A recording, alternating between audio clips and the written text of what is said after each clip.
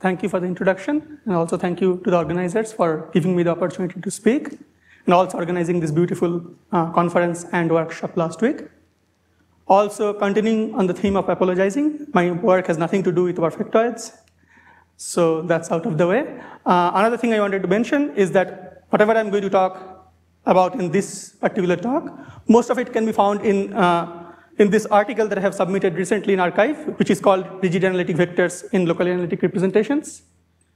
And also a disclaimer, um, after I submitted this article, I found out that most of these results in some form or another can be found in Emerton's unpublished work before. Um, okay, so I have divided my talk into three parts. First of all, I'll give some context to the problem I'm dealing with. And then um, this main theorem is part of a bigger uh, problem that I want to solve.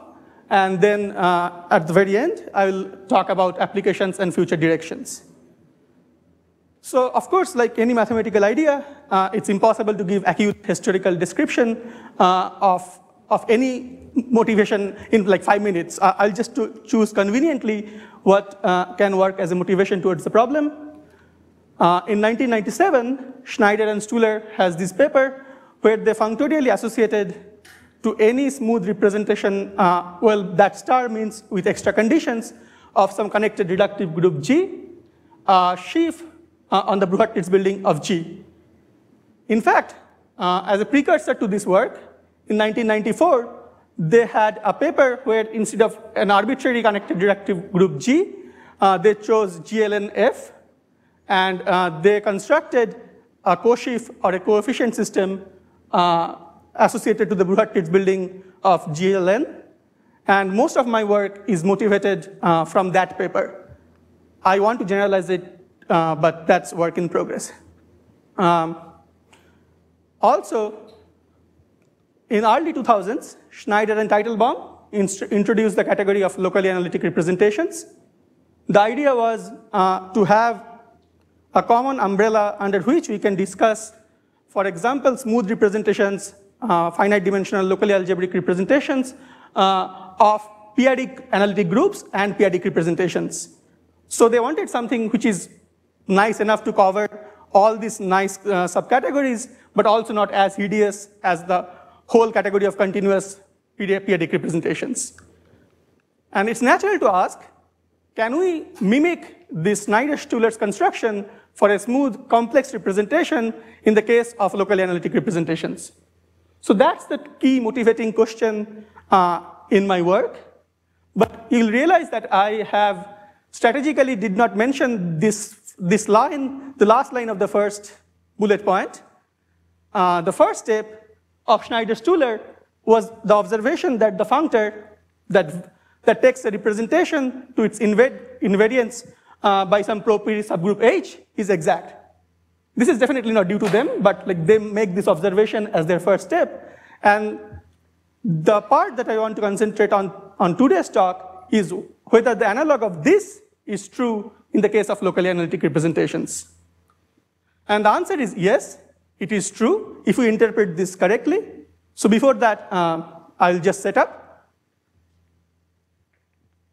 We have uh, finite extensions of QP, F and E, and E is always going to be my coefficient field. And uh, we fix an F analytic uniform pro-p group H. Uh, I am not going to define all these technical details about uniform pro-p, but um, and the, if you have a p-adic analytic group, p-adic analytic Lie group, it always has one of, uh, one of these kinds of groups as a subgroup. So if you're dealing with representations of a p-adic analytic Lie group, uh, you can consider it as a representation of a uniform pro-p group.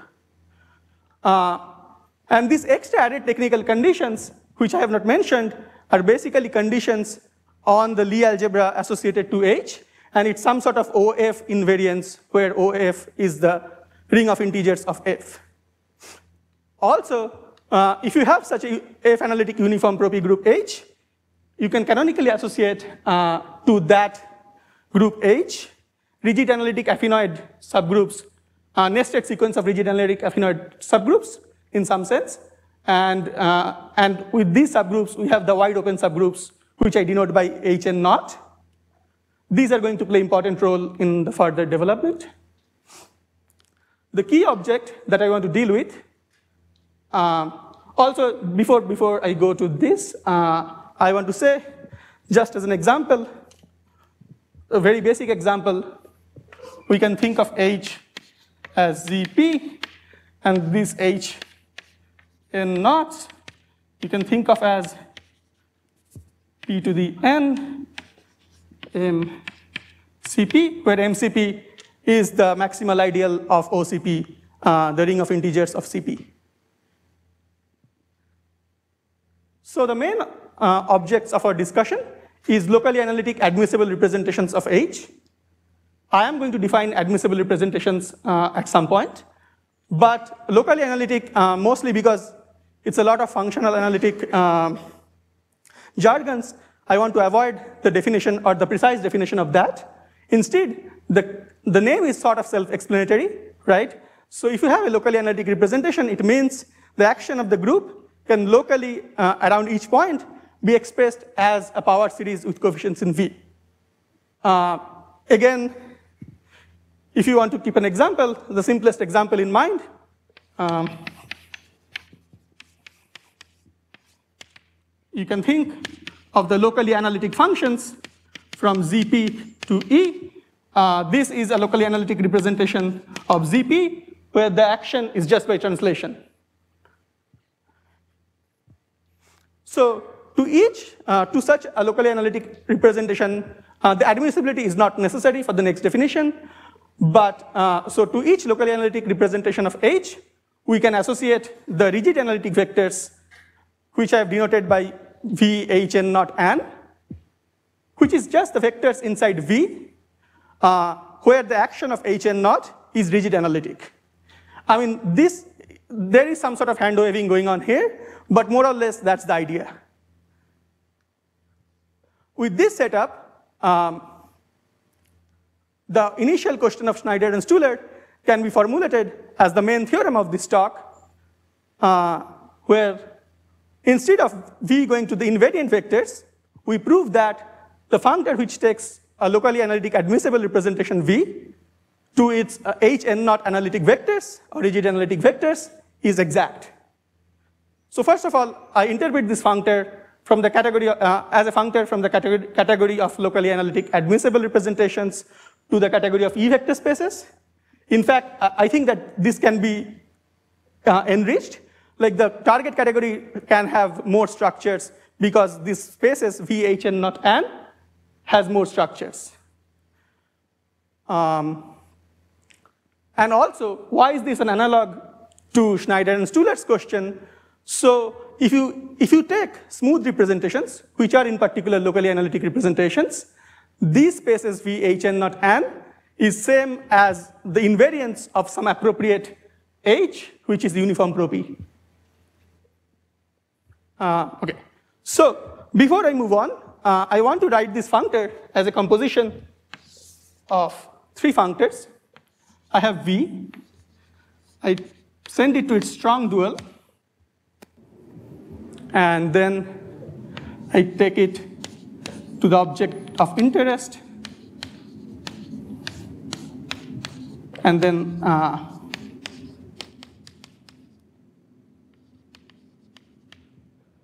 So my functor is a composition of these three functors. Uh, we, can, we can figure out the target and the source categories in each of these cases.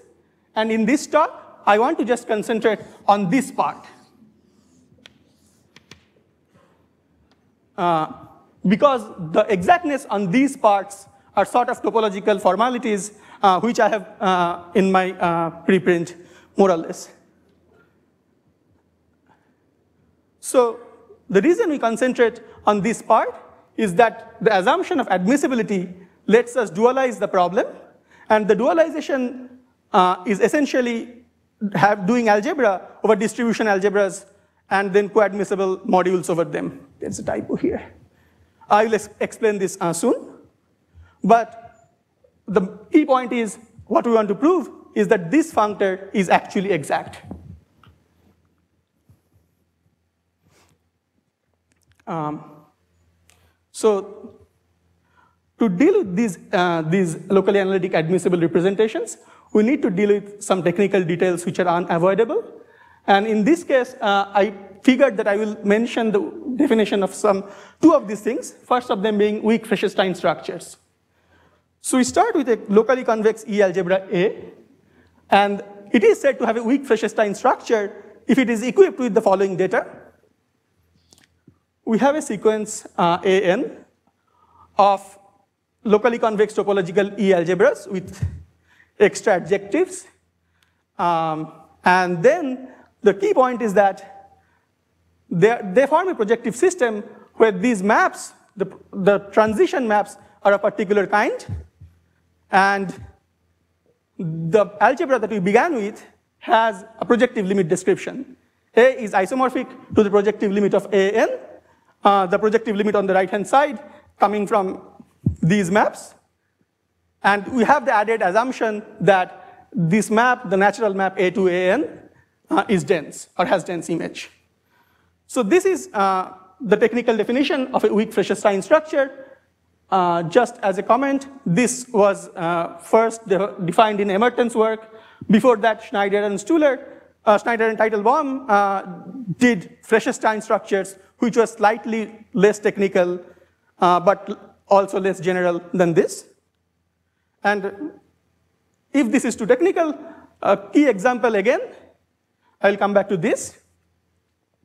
So we have the locally analytic functions from ZP to E. Then um, the strong dual of that, that has a topology. The strong dual of that is called the distribution algebra of ZP. That ZP, uh, the, the distribution algebra of ZP has a weak Fréchet-Stein structure where we can uh, exactly point out the components AN. So if you look carefully, these ANs are nothing but the HN naught vectors, HN naught n vectors of the locally analytic functions of ZP, and then the dual of that. Uh, where this is the analogy, or this is the example to keep in mind.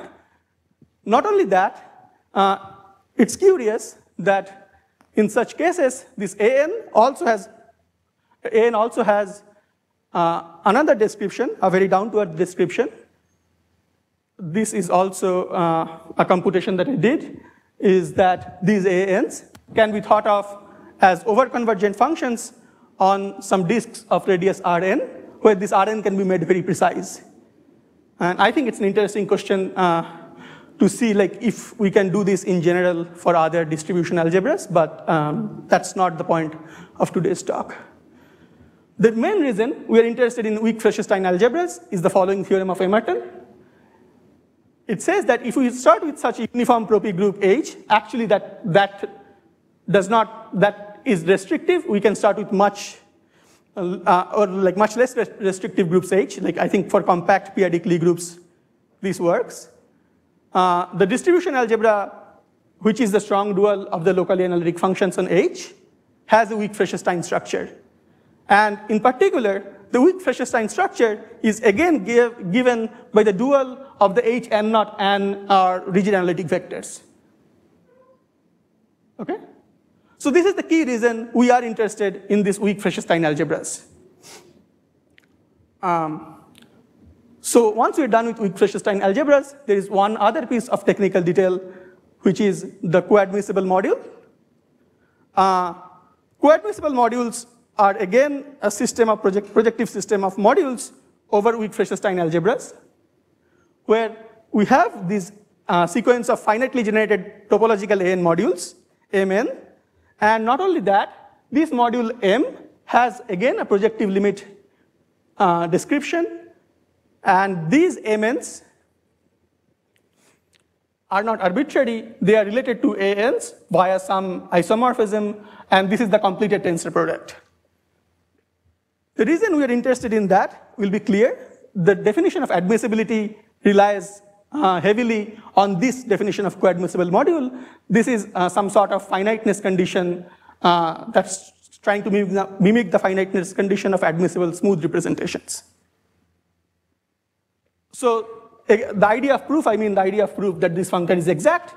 Uh, a locally analytic function uh, representation is called admissible if the strong dual of it is a co-admissible module over the distribution algebra. That's just the definition.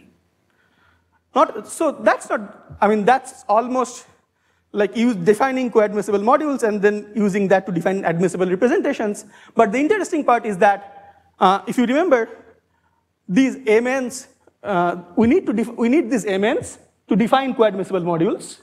And for this B, uh, the strong dual of a locally analytic representation, these amens are explicit. These amens, as I assume is guessable by now, is just the strong dual of the rigid analytic functions of these wide open subgroups. And now with this setup, Emerton showed in his memoir on locally analytic representations that these amens have such a description. I'll just write this out because I think this is helpful. So we have that Mn, or maybe I'll just use this. We know is isomorphic to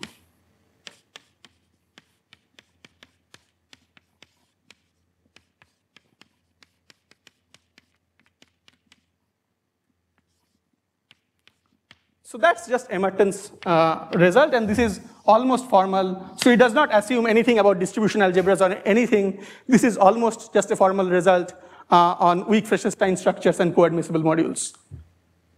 So now, once we have that, this proof almost is natural if we can do two things, right?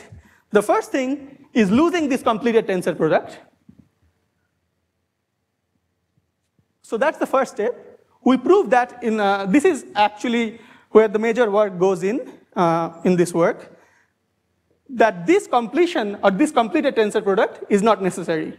In fact, uh, we can just write this as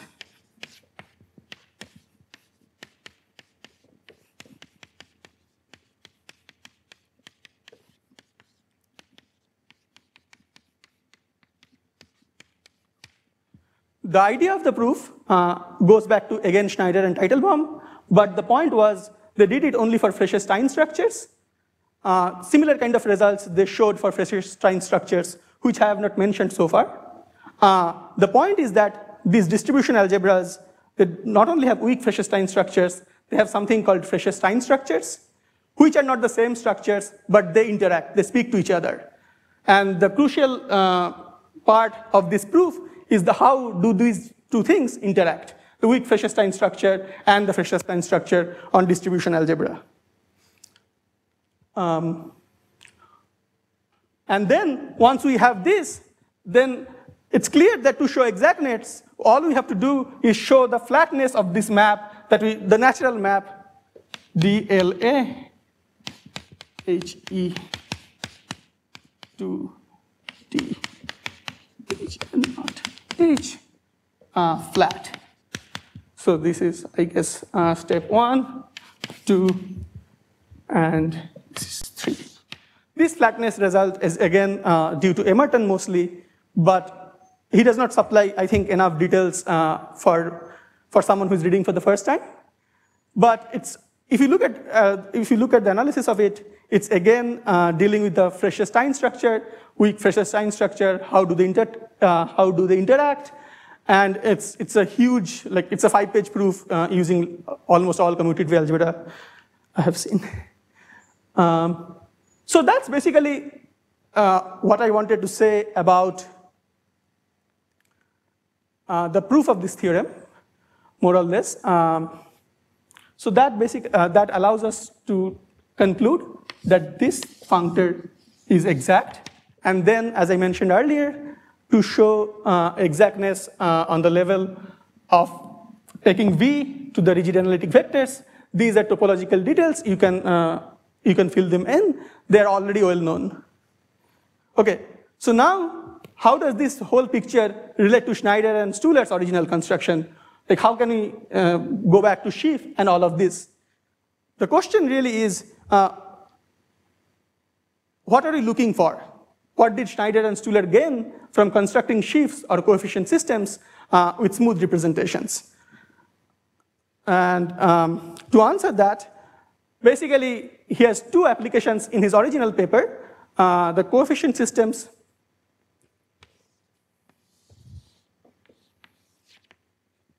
the coefficient systems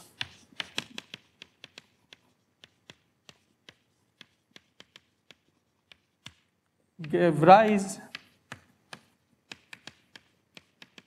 to chain complexes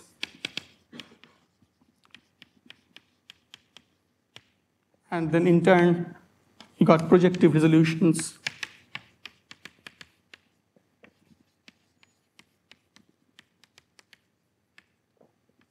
of the representation.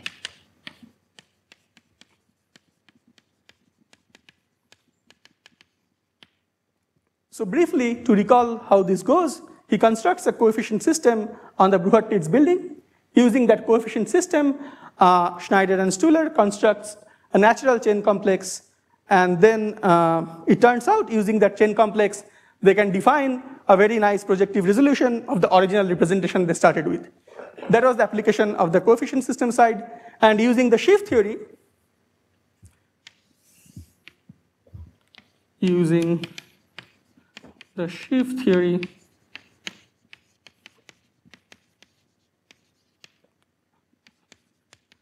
they computed, it might be slightly wrong, uh, compactly supported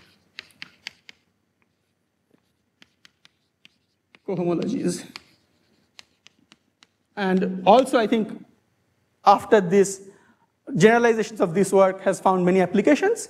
So it's natural to ask, uh, how can we construct a sheaf using these locally analytic representations? Well, unless we have the sheaf, these questions are pointless to ask, right? So in the case of locally analytic representations, we need analogs of stabilizers and uh, by the work of Remy, Thuillier, and Werner, uh, to each point x of the Bruhat-Tits building, we can associate a rigid analytic group, affinoid group Gx. And so if you take an open set U, you can consider these uh, rigid analytic group or maybe the group generated by this, uh, which is just taking union of all the Gx's. Once we have that, let's say you have an admissible local, locally analytic representation V, then uh, you take an open subset U of the Bruhat-Tits building, you can construct the rigid analytic vectors of GU, and then take the continuous dual. That's what I have denoted by MVU, the script M. Then this construction of U being sent to MVU gives a sheaf on Bruhat-Tits building. And in fact, the construction of coefficient system uh, can follow very similarly to Schneider and Stuhler. So instead of taking the stabilizer of a point, uh, you can take the rigid analytic group associated to it, and then take rigid analytic vectors of that. That will also give a coefficient system, which gives rise to a chain complex. Now, the natural question to ask is that, uh, are these any good? Does the Schneider-Stuhler procedure, when applied to this sheaf or that coefficient system, give me what they could have accomplished in this? Um, the, the short answer is I don't know.